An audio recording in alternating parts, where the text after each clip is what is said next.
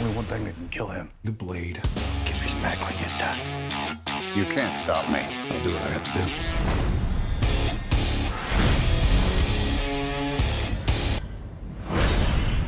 It's been too long.